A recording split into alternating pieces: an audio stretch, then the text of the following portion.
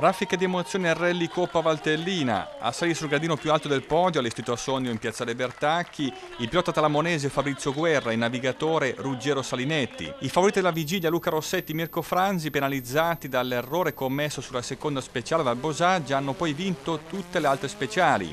Sì, è stato un rally duro perché eh, vabbè, inizialmente con Luca non c'era storia perché lui facendo questo lavoro da, da anni il divario era tanto poi con la toccata che ho avuto sulla seconda prova al Bosaggia diciamo che era un po', è andato un po' tutto in discesa.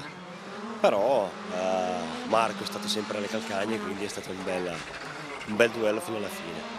L'altro grande favorito, Marco Gianesini, navigato da Sabrina Fai, ha commesso due errori nella PS7 nel finale di gara. Abbiamo fatto quello che dovevamo fare, abbiamo fatto la nostra strada sempre convinti, sempre credendoci, sempre con la testa, sempre con la cognizione e abbiamo sentito il fiato sul collo.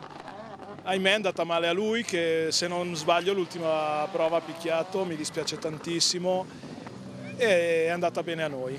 Secondo posto che è andato Loris Gelfi e Gianluca Marchioni su Skoda Fabia R5. È stato un rally impegnativo per me, comunque dai, qualche errorino, un errorino ieri sulla prova di Mello, una prima prova con qualche problema tecnico alla vettura e abbiamo resettato e oggi abbiamo, stiamo, abbiamo cercato di arrivare in fondo. È stato un rally molto selettivo, lo, lo, lo, si vede anche dalla quantità di toccate.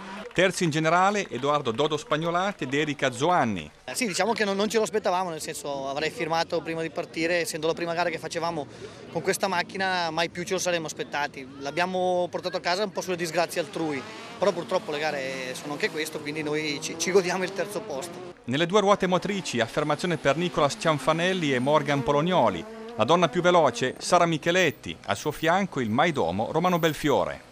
Navigata da Romano Belfiore, un ormai veterano nel mondo dei rally e devo dire che anche grazie a lui ogni gara ci sono sempre dei miglioramenti dal punto di vista di velocità, tempi, feeling con la vettura, soluzioni provate anche in vista dei prossimi appuntamenti del campionato italiano, eh, siamo molto soddisfatti, abbiamo raccolto eh, indicazioni importanti.